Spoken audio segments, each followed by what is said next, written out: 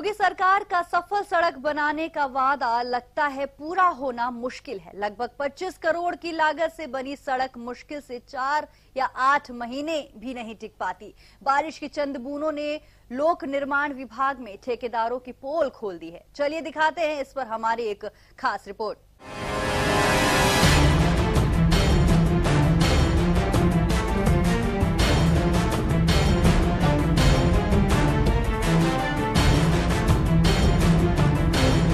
ये तस्वीरें जो आप देख रहे हैं बलदेव सादाबाद सड़क की है, जो पिछले साल करीब 25 करोड़ रुपए की लागत से बनाई गई थी।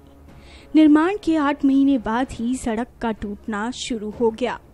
वहीं विभागीय अधिकारियों के अनुसार एक साल की सड़क की ज़िम्मेदारी ठेकेदार की होती है। पर अब ऐसा लग रहा है कि ठेकेदार अपनी जिम्मेदारियों से मुँह फेर रहा है। अगर हर वर्ष 25 करोड़ रुपए सरकार सिर्फ़ एक सड़क बनाने पर खर्च करेगी तो सोचिए मथुरा जनपद के लिए ही सरकार को कितने अरब रुपए हर साल सड़क बनाने के लिए खर्च करने पड़ेंगे। कहीं ना कहीं सड़क बनाने में घटिया निर्माण सामग्री और मानकों की अनदेखी करी गई है।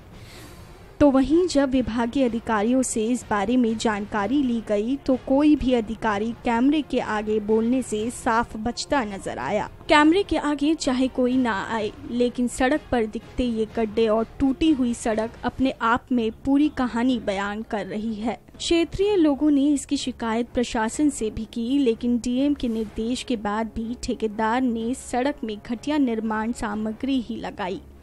आपको बता दें, सड़क पर सफ़ेद पट्टी डलवाकर अंतिम रूप जब दिया जा रहा था, तभी बारिश होते ही सड़क उखड़ गई और ठेकेदार के काम का पर्दाफाश हो गया।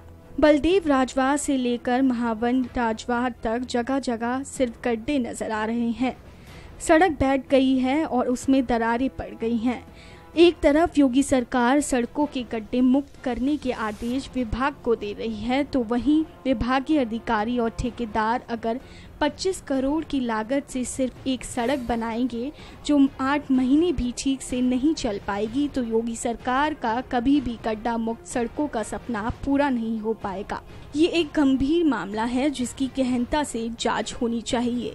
दोषी अधिकारियों और ठेकेदारों के खिलाफ सख्त से सख्त कार्रवाई की जानी चाहिए। तभी योगी जी का गड्ढा मुक्त सड़कों का सपना पूरा हो सकेगा। पूरे प्रदेश में एक मिसाल कायम होगी और वही अधिकारियों व ठेकेदारों के लिए एक सख्त संदेश जाएगा। अगर आप गलत काम करेंगे तो आपके खिलाफ कार्रवाई की जाएगी।